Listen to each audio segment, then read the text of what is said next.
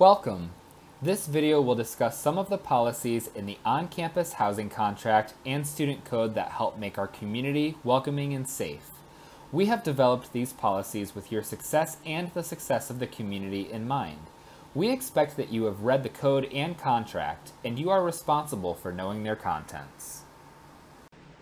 The topics that will be covered in this video are the quiet hours policy, some fire safety policies, our alcohol and cannabis policies, our university's definition of consent, our university's statement on respectful communication and bias, as well as mental health resources.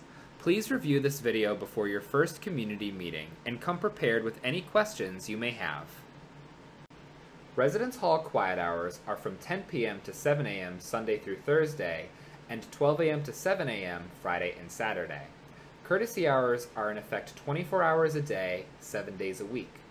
If your neighbor asks you to lower your volume, please respect their request.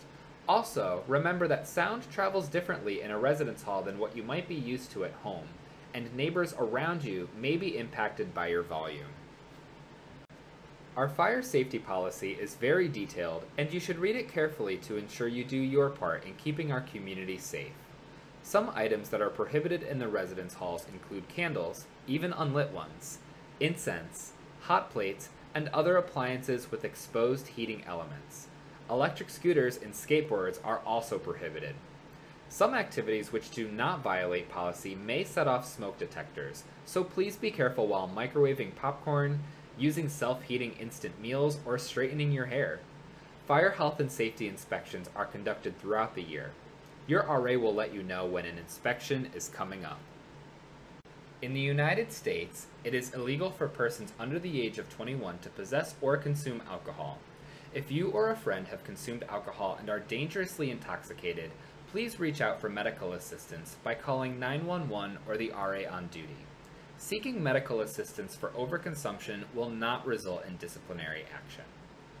The University of Connecticut abides by federal law because we receive federal funding. That means that regardless of state law, cannabis, including medical cannabis, is not permitted on campus. Please do not use or possess cannabis or cannabis paraphernalia in the residence halls. The University of Connecticut uses the following definition of consent for sexual activity. Consent is an understandable exchange of affirmative words or actions which indicate a willingness to participate in mutually agreed upon sexual activity. Consent must be informed, freely, and actively given. It is the responsibility of the initiator to obtain clear and affirmative responses at each stage of sexual involvement. Consent to one form of sexual activity does not imply consent to other forms of sexual activity. The lack of a negative response is not consent. An individual who is incapacitated by alcohol and or other drugs, both voluntarily or involuntarily consumed, may not give consent. Past consent of sexual activity does not imply ongoing future consent. Consent cannot be given if any of the following are present force, coercion, or incapacitation. If you are subject to unwanted sexual contact or activity, you may report it to any university employee. Please visit title9.uconn.edu slash get dash help to view more information on reporting options. Over the course of your career at UConn, you will be meeting persons from different backgrounds and identities. While we intend to foster robust expression of varied opinions, those opinions must be expressed in an environment of mutual respect. If you are subject to or witness a bias-related incident, which is an incident that targets a marginalized identity or group, please contact an RA, hall director, or UCPD. You can also use the reporting form at inform.uconn.edu. During your time at UConn, you may experience anxiety, depression, or other mental health concerns. Many students are impacted by those conditions. You are not alone. If you need or want mental health support, Shaw Mental Health is available to provide that support.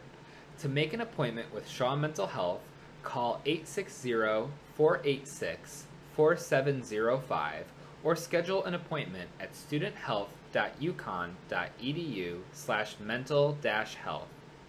To access 24 7, 365 mental health services, Be Well at UConn offers free and confidential support over the phone. Call 833 308 3040. If you are experiencing a serious and life threatening crisis, call 911 or the UConn Police Department. If you become concerned about another student, you can also reach out to the RA on duty. As Huskies, supporting one another is what we do. Remember that you are responsible for knowing the contents of the on campus housing contract and the student code, so please take some time to read them. You can bring any questions you have about these policies to your RA.